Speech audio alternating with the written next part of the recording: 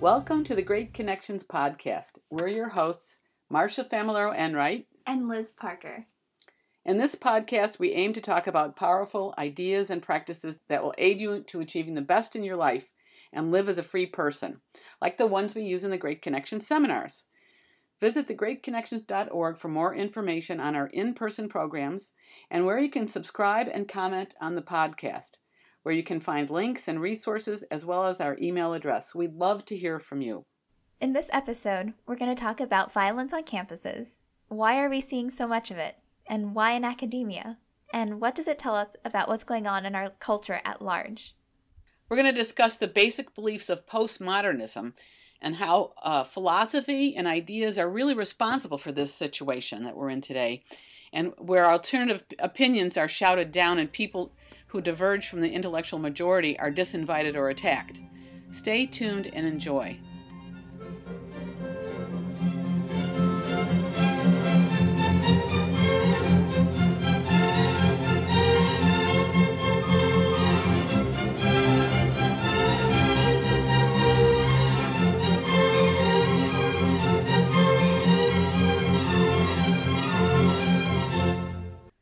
Recently, I listened to an exchange on Bill Maher's show between commentator and neuroscientist um, Sam Harris and Ben Affleck on Islamism. I mean, on Islamists. And I thought it was a great example of what's going on these days with ideological uh, disagreement, you know, and, and what's going on on campus. Because Affleck started accusing Harris of being a racist. Here's a clip. Yeah, well, liberals uh, have really failed on the topic of theocracy. They, will they, they'll criticize white theocracy, they'll criticize right. Christians, they'll still get agitated over the abortion clinic bombing that happened in 1984. But when, when you want to talk about the treatment of women and homosexuals and free thinkers and, and public intellectuals in the Muslim world, uh, I would argue that li liberals have failed us. And uh, the crucial point of confusion, uh, yeah, thank you. Thank God you're here. Yeah.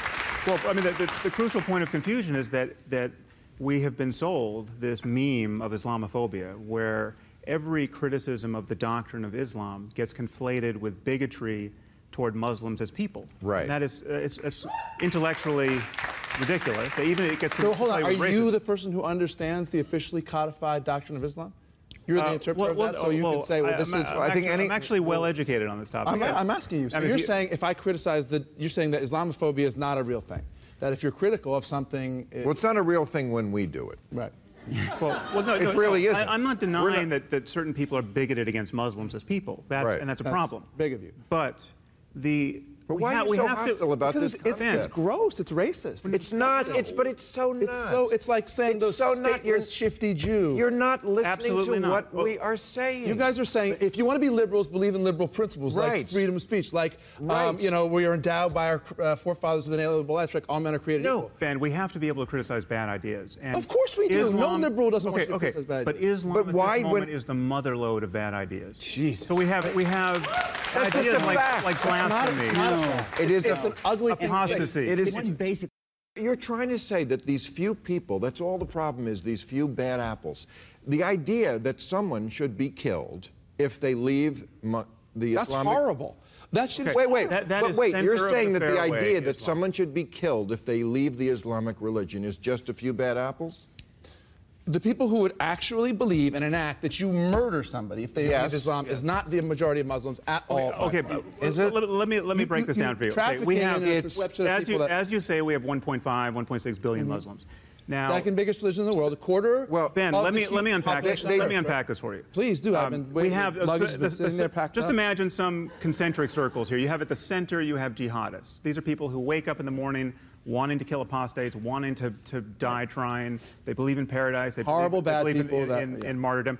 Outside of them, we have Islamists. These are, these are people who are just as convinced of martyrdom and paradise and, and wanting to, to foist their religion on the rest of humanity, but they want to work within the system. They're not going to blow themselves up on a bus. They want to change governments. They want to use democracy against itself.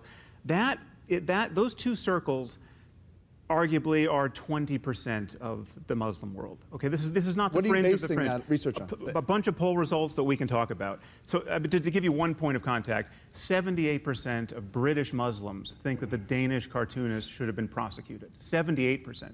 So I'm being conservative when I roll this back to 20%.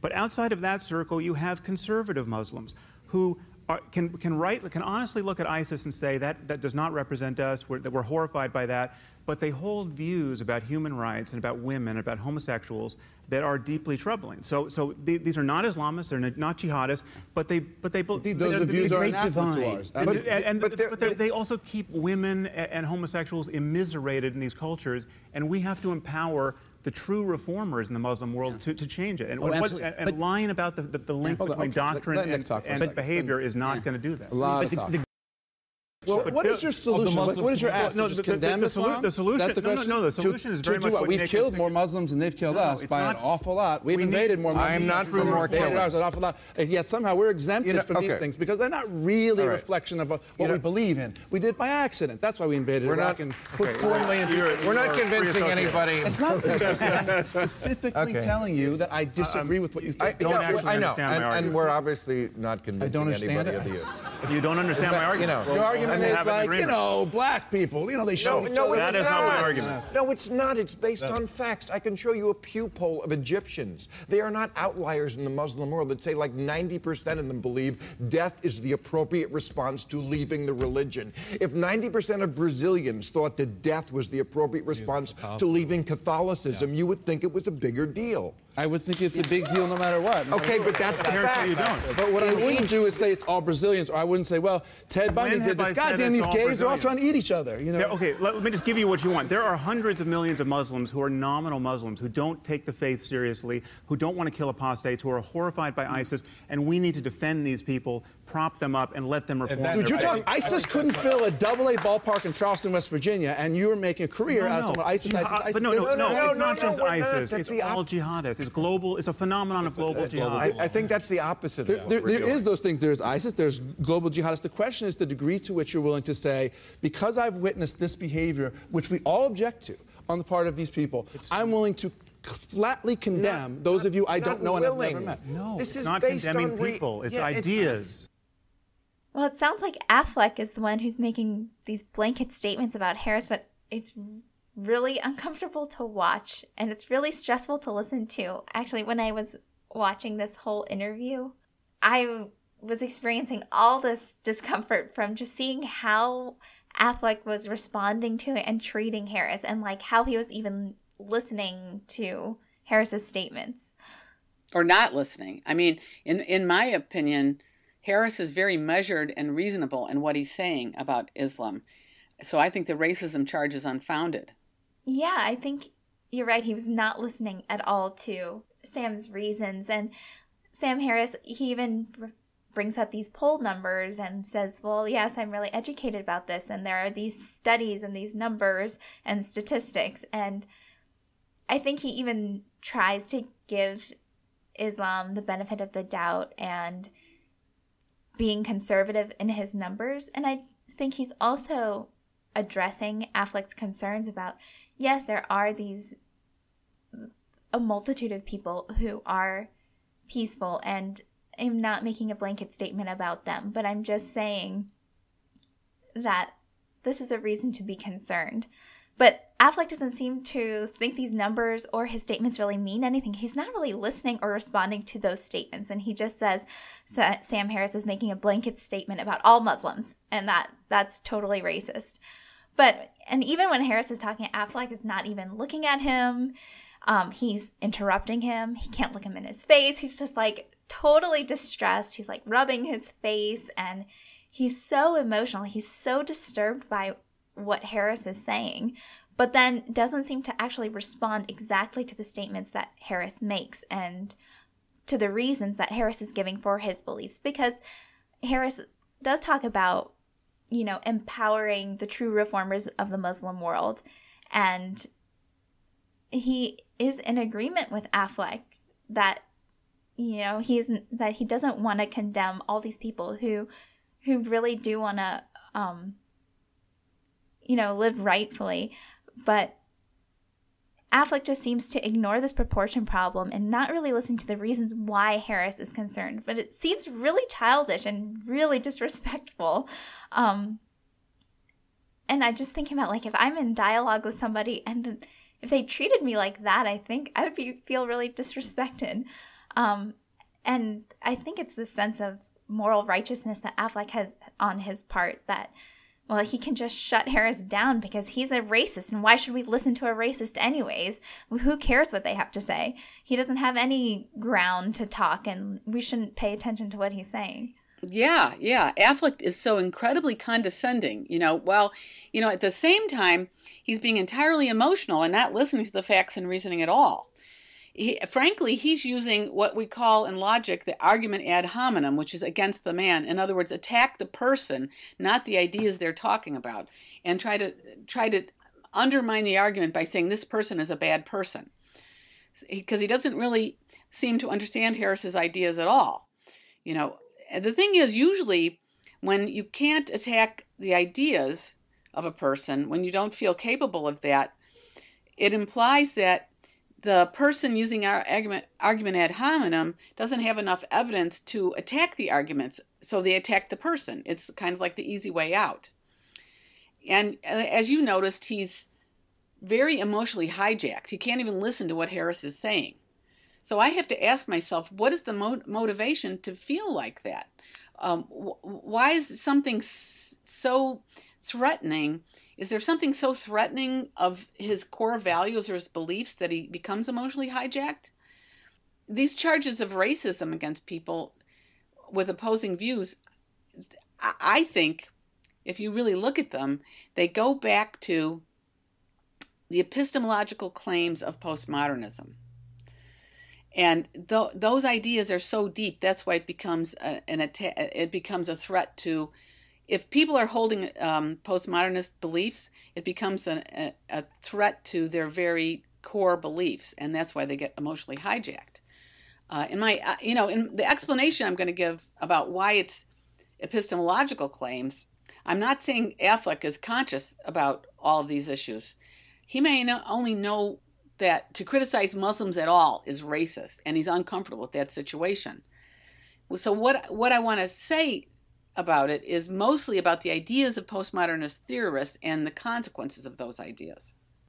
Yeah, I think that, like Affleck, we're uncomfortable making blanket statements and judgments about large groups of people. But I think Sam Harris was also in agreement with that. But what he was trying to say, it's not the people that we are talking about, it's the ideas. And I think that's kind of the issue where they couldn't find ground to talk. But you said that this kind of argumentation was caused by epistemological claims of postmodernism. And first, I was just wondering what is epistemology and what is postmodernism and what are its epistemological claims? Yeah, I know those are kind of uh, pretty abstract and are an arcane topics to be bringing up and words to be bringing up, so they ought to be clarified. Well, epistemology is the study of how do we know things? What mental tools do we use?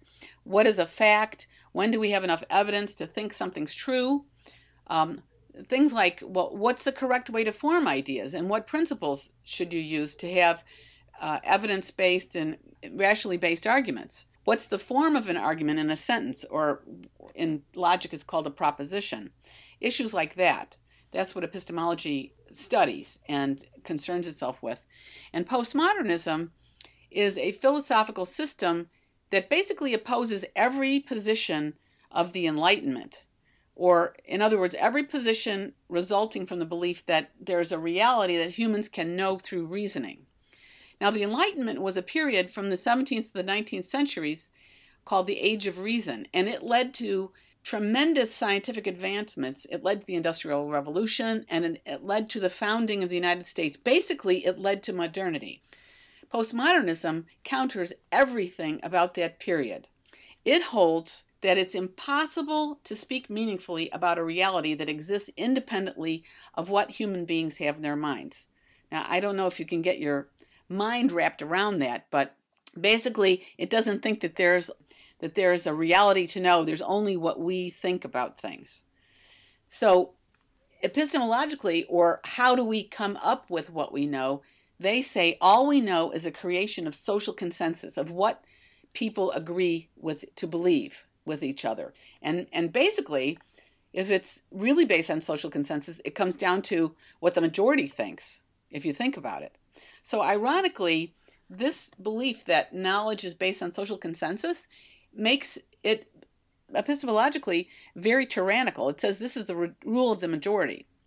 Ethically, they think that we can't have individual identity or autonomy but we're all just a part of some group, a group of race, class, sex, on and on, and more groups are invented every day.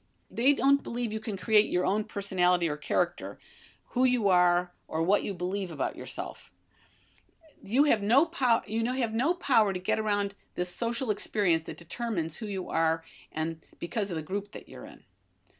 And the consequence of that is politically, they think that it's all a matter of groups struggling for power and moreover, being anti reason and anti individualism, these people are also anti science, anti technology, anti market, as causing repression of the victim groups, of the underprivileged groups, since they think it's all a power struggle. Now, there's a great little book about this theory called Explaining Postmodernism from Rousseau to Foucault by philosophy professor Stephen Hicks and it's it's so powerful and clarifying that it's been translated into six languages. We'll put a link to it on our, our resource page. But uh, back to epistemology, because it's key. You see, I want to be clear. It's not that postmodernists think that it's really hard to acquire the truth, that reasoning objectively is difficult, that there are many, many things we have trouble knowing for sure and that there are many epistemological problems. No, that's not their point of view. They literally argue that you cannot know anything about reality itself. No fact about smallpox, no fact about the orbit of the moon, or no fact about your hand in front of your face. According to them, all ideas are by social agreement, not objective truth. They maintain that reason is not a tool for knowing reality. It's all subjectivity. It's all socially constructed reality. This is all kind of confusing, and it's hard for me to wrap my head around. Um, yeah, I'm sure. It reminds me of this term that's come around recently called post truth. And it was actually the Oxford Dictionary's 2016 word of the year. Um, but I think it captures exactly this postmodernist epistemology that you're talking about or the consequence of that. And so this term basically how Oxford has defined it is that it's when objective facts are not influential in shaping public opinion and that it's more appeals to emotion and personal beliefs that do.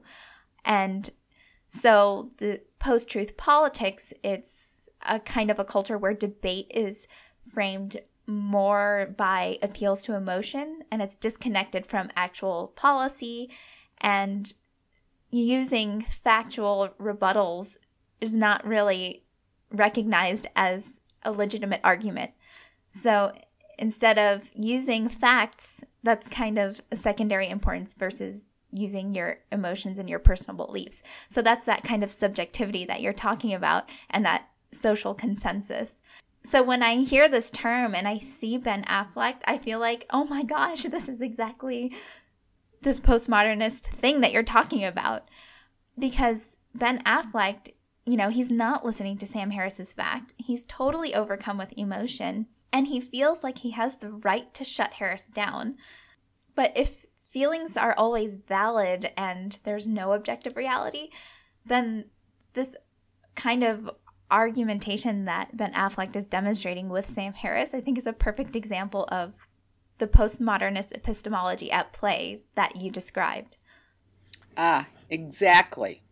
If there's no truth and everything's social agreement, if you can't use facts and reasoning, what's left? But moral intimidation, right? Or social pressure, and that's what Affleck's using.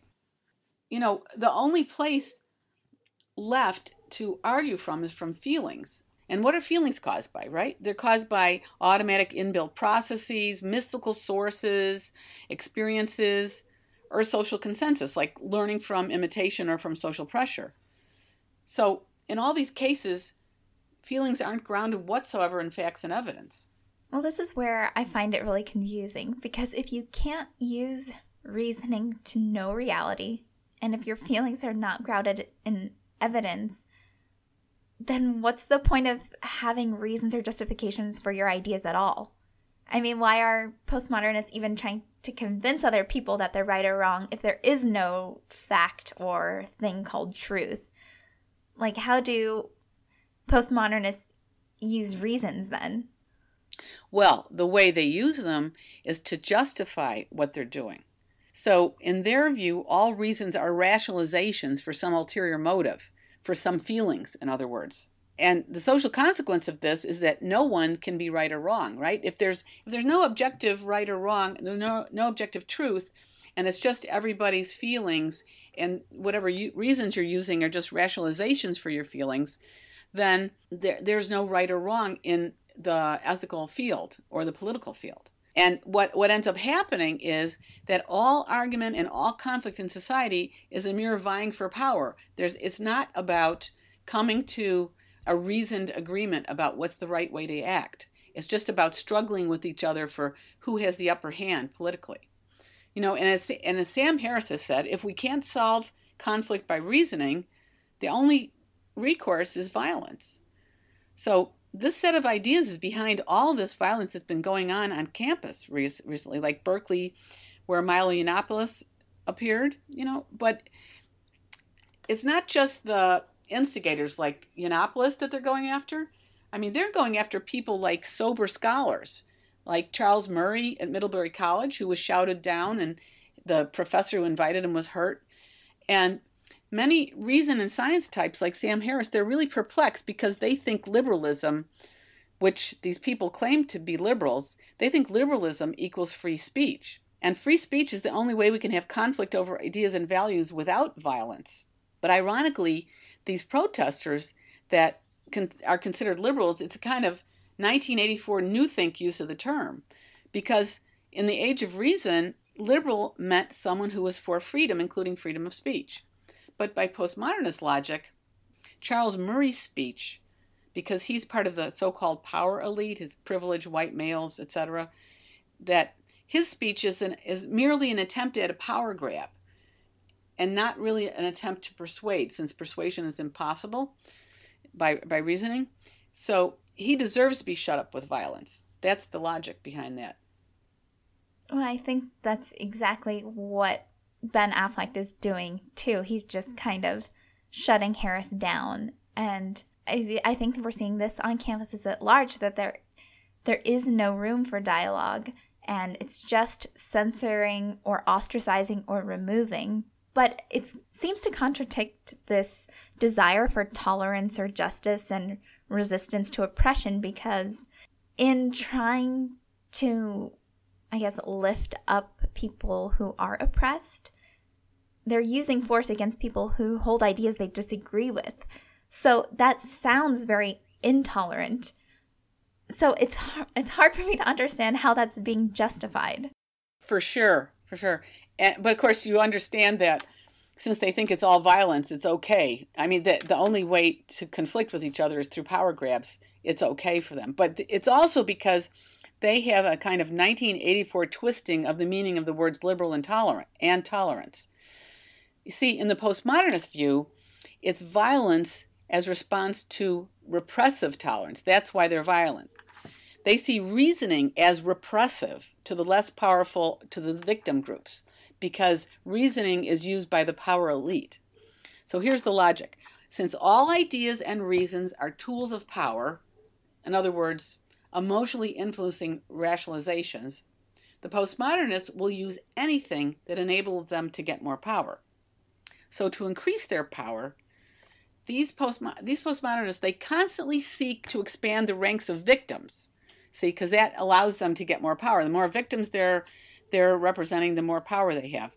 And these are against, um, these are victims that are supposedly oppressed by the white majority who are privileged, or whomever the privileged are in the society. But here's the stinky part about it postmodernists gain moral credit and thereby social power because to take the side of the victims appeals to people's sense of fairness, right? That's why they get power. In other words, to people's rational sense of justice. Fairness is from a standard of reason. And so, in other words, it's stinky because they're using the standards of reason to undermine reason. Now, since according to their view, all reasons are rationalizations for feelings, any negative statement about victim groups or their religions must be motivated by hostile, irrational desires to claim power over that group. In other words, racism. So they kind of use racism as a word to cover all groups um, that are victims because it's, it's the most incendiary word. So this is how any criticism of Muslims becomes racism. Can you follow that? I mean, it's pretty twisted. Yeah, it's really confusing, and it's like the more I think about it, it's it's sort of it makes sense, but then it's it just creates more confusion. So I'm hearing that people may really sincerely be motivated by the desire to protect people that they perceive as victims because they have this rational sense of justice. Um, but then there's this thinking that this justifies the use of violence against people who are the oppressors, who have the power. But if they also believe in, if people have this sense of justice that also includes nonviolent interaction, then there's a contradiction of values. But I also see what is also confusing to me is that there's this concern for the victim and the oppressed groups, which are often minorities. But then I'm wondering so if this oppressed group of victims and minorities then become the repressive majority, then it just seems like who's considered a victim changes and the standard of justice kind of changes with the ebb and flow of the times and who happens to be a minority or who happens to be a majority. So then it's just, you're right, like a situation of power versus a situation of values. So anyone can be right or wrong depending on how much power they have. Exactly. But that doesn't really seem to sit right with me either. No, no, it doesn't. And, and, and it is very contradictory. But just remember that they don't believe that they have to be consistent, right? Because they don't believe in logic and reasoning. Yeah, which is weird. but this power and victim framework, the more you talk about it, the more I see how that's the reason why it's okay. Why, in the postmodernist view, it's okay to criticize some people and it's not okay to criticize other people, even though their actions are the same in a sense.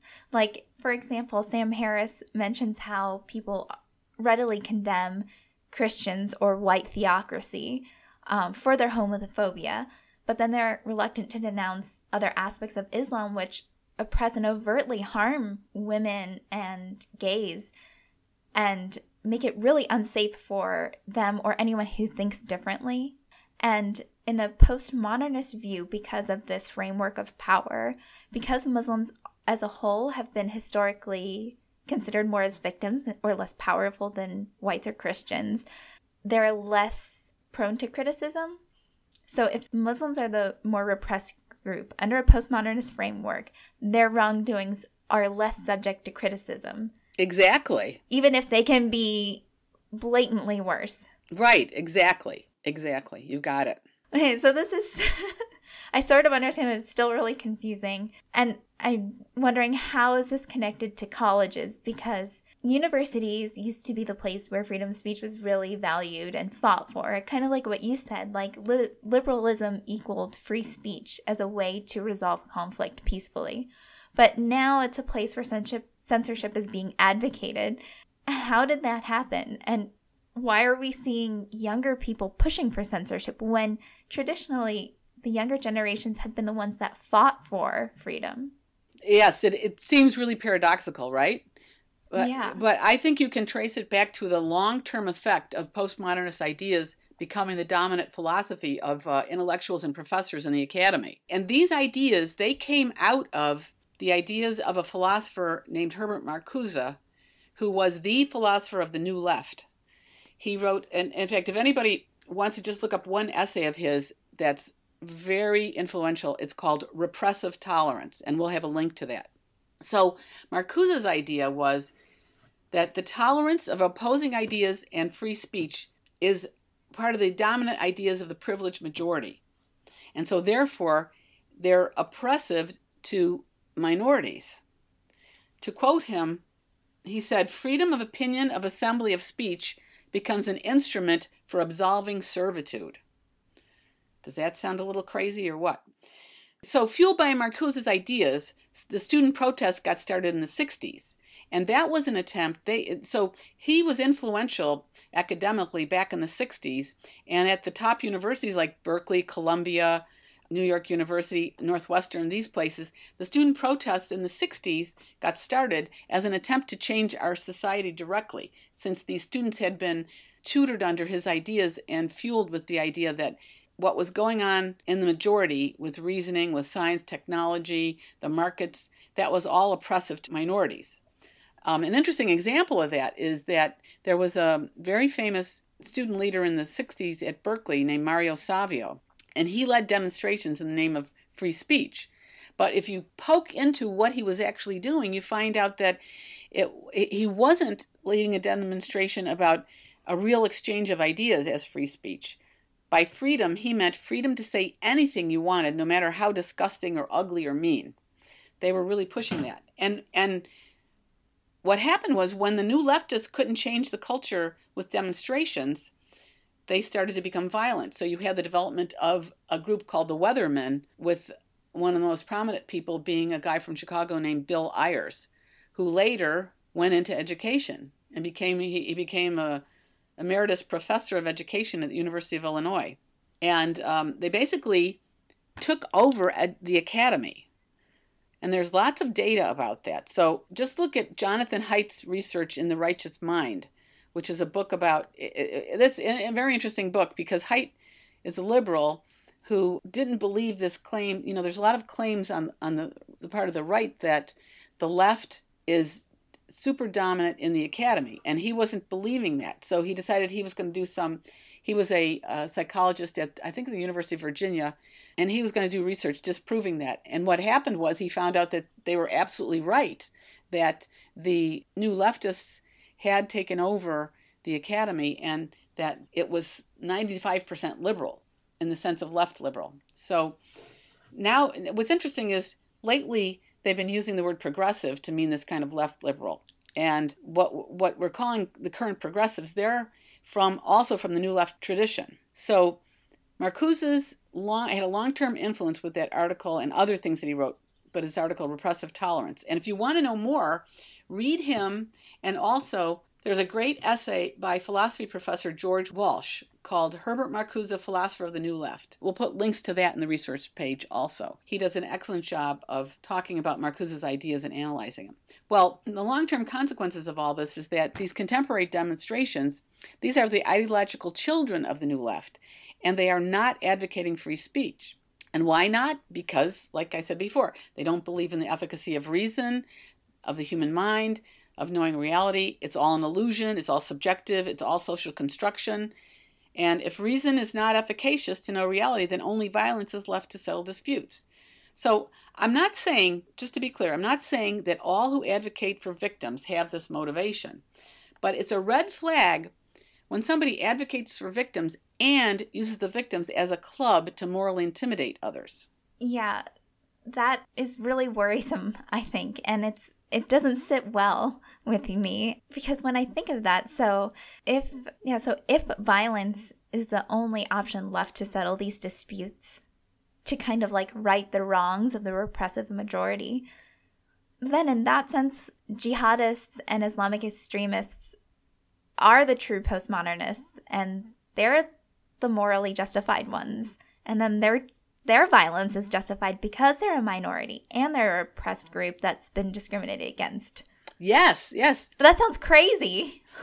but that's exactly the kind of thinking. So, since reason and dialogue isn't efficacious, violence is the only way to settle disputes that they have against the white Christian world, which kind of has historically repressed all other peoples. Is that right? Yes, yes. It's little known, but the ideology of Islamism is highly influenced by Western fascism and, and other philosophies from the West. Uh, just like a lot of people don't know this, but Pol Pot, his terror reign in Cambodia was fueled by what the leftist uh, by leftist ideas he had learned at the Sorbonne. But even Ben Affleck says that he condemns the actions of jihadists. But under this framework, he should actually be championing them and supporting them. Exactly. You know, and the, these kinds of contradictions, they make people like Affleck very conflicted and very reactive. Yeah, because in one sense, like you don't want to condone this violence. And, you know, he even talks about like the peaceful majority of Muslims in the world as an example of people we should support. But if you're using this victim framework, then the jihadists are the true victims. But it all seems to go against this core belief that if re- because if reasons aren't efficacious, then why is Ben Affleck even on Bill Maher's show? Like, why does he even think he's right if he's a cisgendered straight white American male of all people? Like, what kind of credibility does he have then in this framework? It doesn't really make sense to me because if reasons aren't efficacious, then why is he using them? Well, yeah, the beauty of this set of beliefs is you don't have to pretend to be consistent. So let's go back to what they think. They think all beliefs are rationalizations to gain power. So you can use whatever obfuscations you can figure out to win arguments because it's about gaining social consensus. Whatever emotional tools, whatever social persuasions you can use, that's what you're going to use to get the upper hand. Whatever rationalizations, that's what counts. And it's not whether it's true or consistent. Remember what the communists said the means justifies the ends. That's what the Bolsheviks said to justify all kinds of mass killings, and that's the same kind of thing today. And, and further, on your observations about how self contradictory they are, notice that their epistemology itself is self refuting because how can they claim that what they're saying is true if there is no truth, right? Or the, the, their concepts depend on concepts that they deny. And this is what I mean. They create theories, which are complex integrated reasons, and they use those theories to deny the truth of theories at all, of theories even be, having any truth. So it's just a, um, an incredible um, self contradictory, turning on itself obfuscation of ideas. And you know, the final thing to remember to think about is notice that when they make these claims, they don't live as if they actually believe them because, well, I always think about this. If you actually believed that reason wasn't efficacious and you can't know reality, then anything could happen. It doesn't matter, right? It, it's just a, it's kind of just an illusion of social consensus. But do they actually live like that? No. Would they step in front of a moving truck? No, because they don't really believe that it's not real. You know, so then you have to ask yourself if they don't really live that way and they don't really believe that it's not efficacious, why do they advocate for it? And if they were actually trying to discover the truth, so so going back to the issue of, you know, it is really hard to know the truth, especially the more abs we we can know that my hand is in front of my face most of the time. And you could even argue there's situations in which I could be deluded or have some optical illusion or some brain state where I'm thinking it's in front of my face, but it's not. But in most of the cases, there's many things which we know pretty certainly. But when you get into the more abstract ideas and values and things like that, it's really complicated to figure out the truth. So there's a lot of problems with that. Um, but if people were actually trying to discover the truth, if they were actually trying to discover the truth, wouldn't a more scientific attitude be, hmm, I don't know exactly how reason works, but it obviously can be a very powerful guide to navigating the world. So let's try to figure out how it does that, right? I mean, wouldn't that be the more honest way to approach it? Well, and it seems that's the approach that's used for certain things. But then when it comes to these kind of moral or social issues, then it all becomes up to question. But if they can't live by these claims that they're making and they're contradictory and self refuting, then why are they even sticking to them? Like, why even use them? Well, I always ask myself when someone denies the plain truth in front of your face and gives you a convoluted theory, I ask myself, what is their motive? In other words, what values and what actions do they want but they can't justify? So like I said, there's plenty of epistemological problems to solve, and it's not clear and easy to know in every instant how to determine the truth or what is knowledge. But the plain fact of it is, you and I and billions of other humans are here and we're able to navigate life every day using our reasoning faculties, right? So we know that reason works. And the history of human civilization has been a tremendous progress whenever we apply reason to the problem of existence. I mean, we just look around us today, we're really far from the caves. So, why do we have this convoluted denial of the plain truth while using the products of reason, right? While, while using concepts, theories, reasoning, and hearkening to logic, instead of trying, and why not try to figure out how it works? So, there must be an ulterior motive. And I think a clue is if reason and fact based arguments aren't valid, what's the consequence? The consequence is you can think whatever you feel like. You can value and advocate whatever you feel.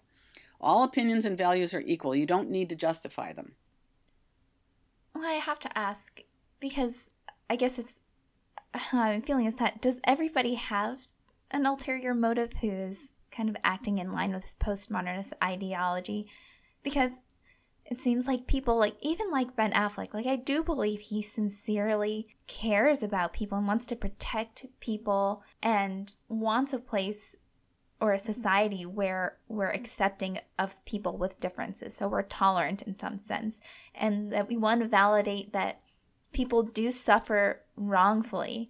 So what about people like that who do you think that they have an ulterior motive as well? Well, I'm not saying everyone with these ideas has them for an ulterior motive. I think some people are just confused or go, or going along with the crowd. So I mean, in that respect, they kind of have an ulterior motive. They want to be accepted.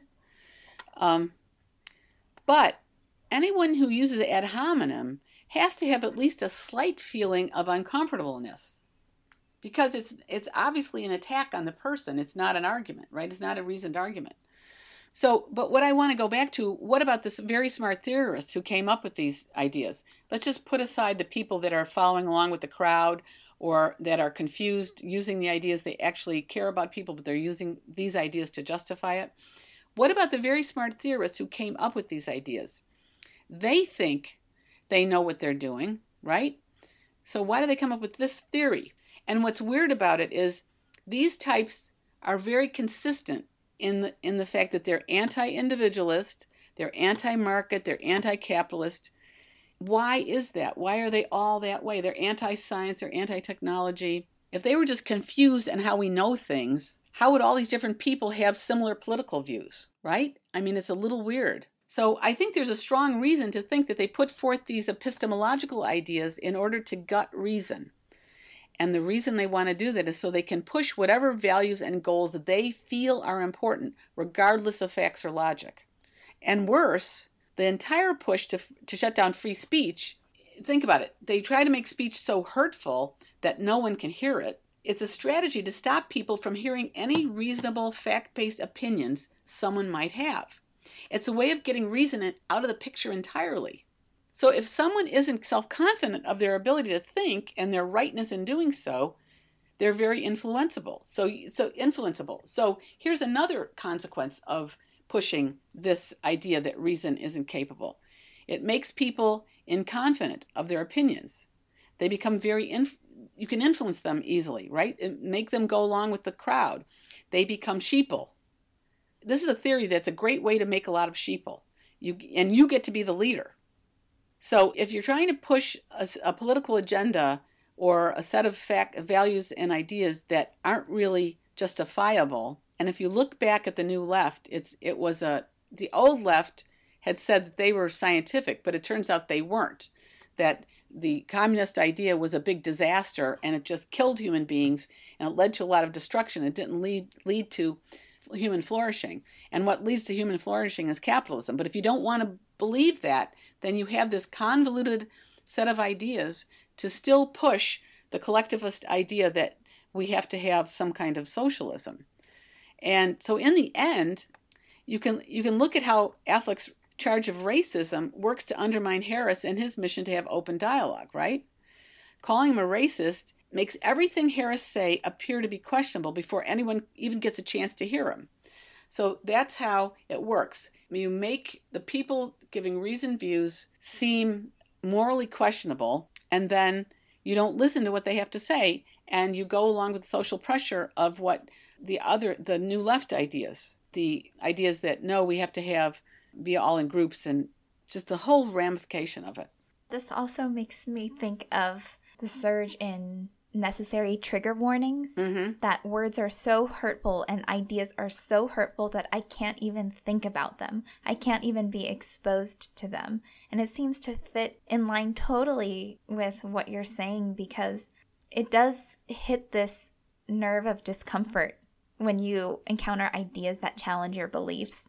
But instead of trying to resolve that conflict and really understand, it's just, I can't hear it, or people shouldn't have to confront that discomfort because that discomfort is oppressive. And it's kind of is really scary when I think about it in that way, is because it does make people sheeple. And yeah, I think Ben Affleck does demonstrate this because he makes the charge that Harris is a racist. And even though Sam Harris has these polls and facts and he's trying to actually talk about the ideas, Affleck doesn't even address that. He goes straight to Harris as a person that he's racist and he's making these statements and that he's wrong. And so Ben Affleck thinks that Sam Harris's re- views are unfounded, even though Sam Harris provides all the reasons and evidence for why he has the beliefs that he does. And I'm confused at what Ben Affleck's justification for his views are. And it doesn't really seem that he provides a reason. He just is very emotional. And the only thing I know for sure about what Ben Affleck believes is that he's uncomfortable about making blanket statements about anybody. But he is so distressed and he seems very threatened by Sam Harris, even though, if you look at it, Sam Harris is speaking very respectfully. He's trying to use reasoned evidence. And Ben Affleck is the one who's resistant, is rude, and is shutting him down. Exactly. Harris is a master of reasoning. And he's too good of a role model with too many reasonable opinions. And that's very dangerous for undercutting this irrationalist strategy to get what they want, the power they want. So Harris is a very dangerous person in that respect. He's not afraid to confront rival ideas, you know, uh, or arguments or facts um, that might even negate his own opinions. He he often brings that kind of thing up. He he welcomes he welcomes rival ideas because he's dedicated to knowing the truth. He thinks knowing the truth, that conforming to reality is the only good way to live. So what Harris says obviously counters these postmodernist ideas. And he and everyone like him, they have to be undermined. Oh, excuse me, they have to undermine the idea that reason can't know reality. You know, the facts and his reasoning is too powerful, so they're dangerous. And what happens is these postmodernists, they end up resorting to distortion, deception, and violence to stop him. Yeah, it seems they use their sense of moral righteousness to then oppress other people. I guess what makes me really uncomfortable with these ideas is that, and makes it seem like there's an inconsistency, a serious inconsistency, is that you can then use these ideas to become an apologist for atrocities in the name of tolerance or justice. So, in that sense, you're tolerating violence and you can tolerate bigotry or racism because because it's cultural or it's based on a minority group. So that it's all relative. I think a part of why well, like first this being apologist for these ideas that really harm people. Another thing that really bothers me is that there's huge social pressure for people to fit into this. And, you know, I graduated in 2010, and I think that I felt I was in a unique department where I felt like I was maybe insulated from this, but I feel like it has gotten so much worse, and that students on campus today, I just feel so bad for them because if students want to speak up, it's a very dangerous place for that kind of thinking and speech right now, especially if you don't hold the same views as everybody else. And I I have to wonder like do a majority people think like this, or are a lot of people just afraid and not speaking out because of the social pressure? Or are these ideas really that per- pervasive? Well, you know, it's hard to know exactly how many people actually think these things, but we know that a lot of them going to college are and, and in academia are influenced by postmodernism.